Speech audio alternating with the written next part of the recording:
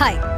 Report T വിയുടെ ഫ്രെയിമിൽ ഐശ്വര്യ റായിയെ കാണുമ്പോൾ നിങ്ങൾക്കൊരു സംശയം തോന്നിയേക്കാം. ഇതെന്താ സംഭവം എന്ന് സംശയിക്കേണ്ട ഇതൊരു ഫേക്ക് ആണ് ഡീപ് ഫേക്ക്. നോക്കൂ ഇങ്ങനെ ഒറ്റ ക്ലിക്കിൽ സാധ്യമാകുന്ന പലതും ഈ പുതിയ എ ഐ കാലത്തുണ്ട്. എനിക്ക് വേണമെങ്കിൽ ഐശ്വര്യ റായി ആകാം ദീപിക പതുക്കോടാവാം ആലിയ ഭട്ടാകാം വിദ്യാബാലനാകാം അങ്ങനെ ആരുമാകാം വെറുതെ നിൽക്കുന്ന എന്നെ ചിരിപ്പിക്കാം എന്റെ മുടിയുടെ രൂപം മാറ്റാം മുഖത്തിന്റെ ഭാവം മാറ്റാം എന്റെ മുഖം തന്നെ മാറ്റാം. എന്റെ ഇതേ ശബ്ദത്തിൽ മറ്റൊരു ഭാഷയിൽ സംസാരിക്കാം. അങ്ങനെ അങ്ങനെ അനന്ത സാധ്യതകൾ. ഹിറ്റ്ലറും മഹാത്മാഗാന്ധിയും തമ്മിൽ നേരിട്ട് കണ്ടിട്ടില്ലാത്തവരാണ്. തമ്മിൽ ചേരാത്തവരുമാണ്.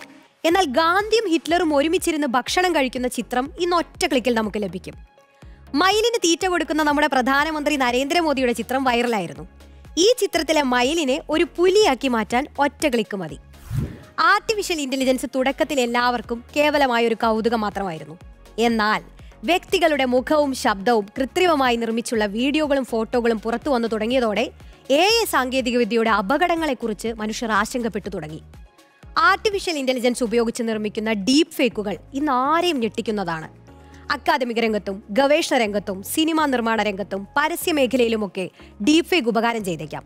എന്നാൽ ഗുണത്തെക്കാളേറെ ദോഷങ്ങൾ വിതച്ചേക്കാവുന്ന ഒരു ടെക്നോളജിയാണ് ഈ ഡീപ്പ് ഫേക്ക് എ ഐയെ പ്രതിനിധീകരിക്കുന്ന ഡീപ്പ് ലേണിംഗ് എന്ന വാക്കും വ്യാജം എന്നർത്ഥം വരുന്ന ഫേക്ക് എന്ന വാക്കും സംയോജിപ്പിച്ചാണ് ഡീപ്പ് ഫേക്ക് എന്ന പേരുണ്ടായത്. വിഖ്യാത ഹോളിവുഡ് സിനിമയായ ഗോഡ് ഫാദറിലെ പ്രധാന കഥാപാത്രങ്ങളായി മമ്മൂട്ടിയും മോഹൻലാലും ഫഹദ് ഫാസിലും അഭിനയിച്ച സീൻ മലയാളിയായ ടോം ആന്റണി എന്ന ചെറുപ്പക്കാരൻ നിർമ്മിച്ചത് നമ്മളിൽ എല്ലാവരും കണ്ടതാവും. കേരളത്തിൽ ആ വീഡിയോ വൈറലായിരുന്നു. എന്നാൽ ഇതുപോലെ വൈറലായ എല്ലാ വീഡിയോയും കൗതുകം മാത്രം നിറഞ്ഞവയായിരുന്നില്ല.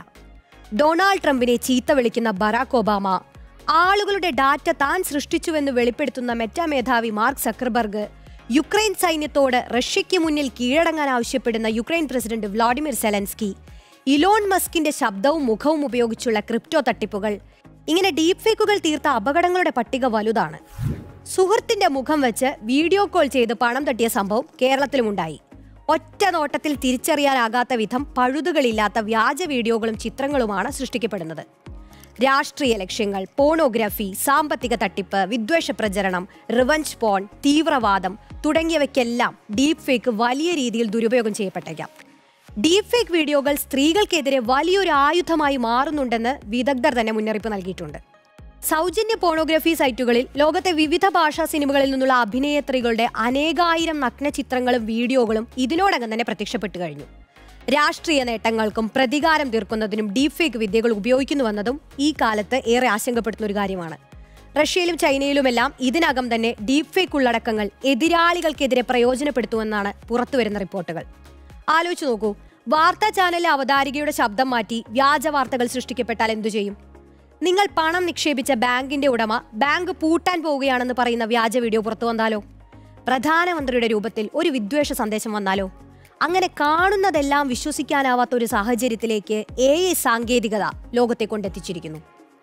വ്യാജ സന്ദേശങ്ങൾ കലാപങ്ങൾക്കും കൂട്ടക്കുരുതികൾക്കും അടക്കം കാരണമായ ധാരാളം സംഭവങ്ങൾ ഇതിനകം തന്നെ ഉണ്ടായിട്ടുണ്ട്. അതിനിടയിലേക്ക് ഡീപ് ഫേക്ക് കൂടി കടന്നു വന്നാൽ വലിയ അപകടങ്ങൾ സംഭവിച്ചേക്കാം. കൃത്യമായ ജാഗ്രത കൈക്കൊണ്ടില്ലെങ്കിൽ വലിയ നാശങ്ങൾ വിതച്ചേക്കാവുന്ന ടെക്നോളജിയാണ് ഈ ഡീപ് ഫേക്ക് സോഷ്യൽ മീഡിയ വഴി നമുക്ക് ലഭിക്കുന്ന ദൃശ്യങ്ങളും ചിത്രങ്ങളുമെല്ലാം അപ്പാടെ വിശ്വസിക്കുന്നതിനു മുൻപ് ഒരു പുനരാലോചന ഇനിയുള്ള കാലത്ത് എല്ലാവർക്കും നല്ലതാണ്.